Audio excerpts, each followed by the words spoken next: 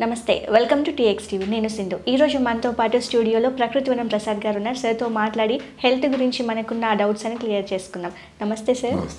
ఎలా ఉన్నారు sir? Sir winter season వచ్చేసింది.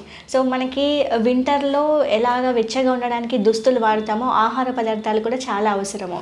సో వింటర్లో ఎలాంటి ఆహార పదార్థాలు తింటే మనకి బాడీ కానీ మనకి వెచ్చగా ఉంటుంది?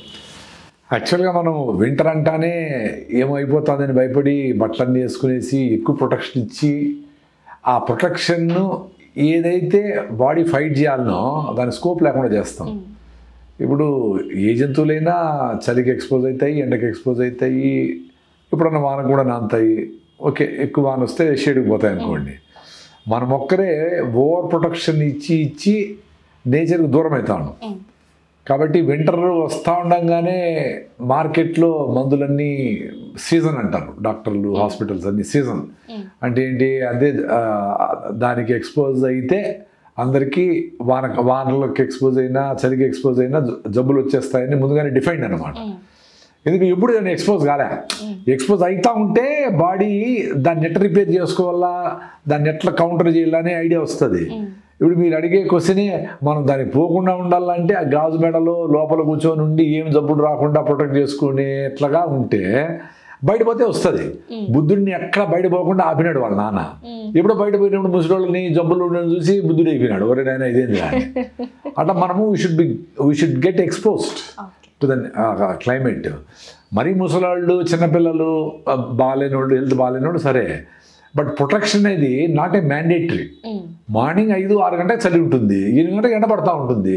ఎంత చలికాలమైన అట్లీస్ట్ ఇండియాలో మనకు బయట యూరోప్లో లాగా మైనస్లు పోవడము జీరో టు ఫైవ్ డిగ్రీస్ అట్లా ఉండదు కదా. సో మన మనకు అంత పెద్ద ప్రొటెక్షన్ అవసరం లే. అందుకే మనం బేసికలీ మనం తినే ఫుడ్లే ఆర్గానిక్ ఫుడ్ ఇంతకుముందు అనుకున్నట్లు మీ పెద్దోళ్ళు తిన్న జొన్న రొట్టెలు రాగి ముద్ద సజ్జలతో చేసుకునే జావలు సజ్జ రొట్టెలు ఇంకా ఇంకా కొంచెం కాన్షియస్గా ఉండేవాళ్ళు ఎక్కువ లావు ఉండేవాళ్ళు మిల్లెట్స్ కొర్రలు సామలు ఇలాంటివి తీసుకుంటే ఆ body by nature right food పెడితే దాన్ని తట్టుకునే శక్తి అట్లా వస్తుంది.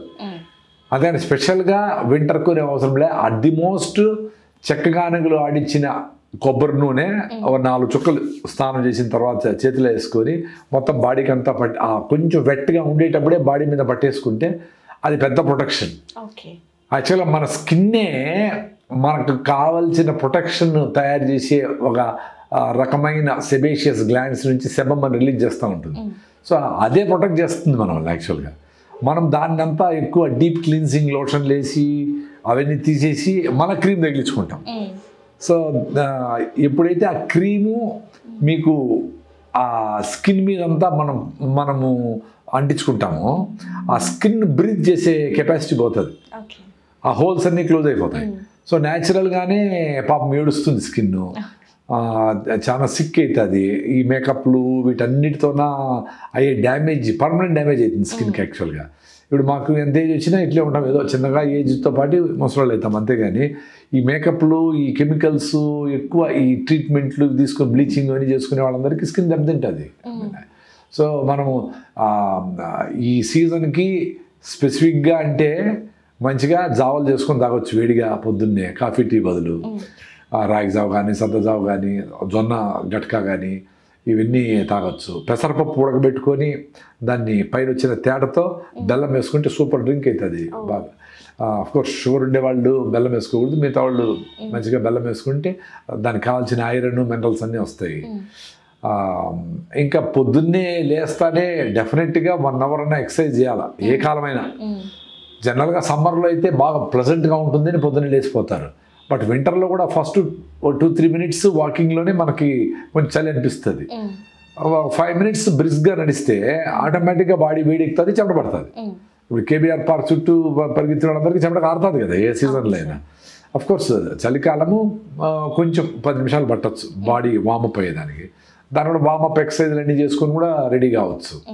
సో రైట్ ఫుడ్ అనేది వింటర్ సపరేట్గా సమ్మర్ సపరేట్గా ఏం లేదు. ఆవు గడ్డే తింటుంది ఏ సీజన్లో అయినా. పావురము సజ్జలు ఏదో తింటాయి. అట్లా మనం కూడా రైట్ ఫుడ్ అనేది ఎప్పుడు తినాల్సిందే. సో రైట్ ఫుడ్ అంటే కెమికల్స్ లేని ఫుడ్. మనం అన్ఫార్చునేట్లీ ఇప్పుడు ఎక్కువ రైస్ ఎక్కువ తినేసి అదే రైట్ ఫుడ్ అనుకుంటాను. దాంతోనే ఇడ్లీలు దోశలు దాంతోనే పులిహార మిగిలితే రేపు పొద్దున్నే మళ్ళా దాన్ని ఏదో రకంగా మార్చి అదే తింటాను. సో రైస్ తగ్గించి మనము జొన్నలు రాగులు సజ్జలు కొర్రలు తినేది మొదలు పెడితే అందరికీ ఆరోగ్యము ఆటోమేటిక్గా వస్తుంది. సస్టైన్ రిలీజ్ ఆఫ్ గ్లూకోజ్ అంటే చిన్నగా మీ శరీరానికి కావాల్సినంత గ్లూకోజ్ రిలీజ్ అవుతూ ఉంటుంది కాబట్టి అలర్ట్గా ఉంటారు. డల్గా లేకుండా. ఎప్పుడైతే ఫాస్ట్ ఫుడ్స్ తింటామో తొందరగా అరిగిపోయే ఫుడ్స్ ఏవి తిన్నా ఒక్కసారిగా మీకు గ్లూకోజ్ వచ్చి బ్లడ్ మీద పడుతుంది.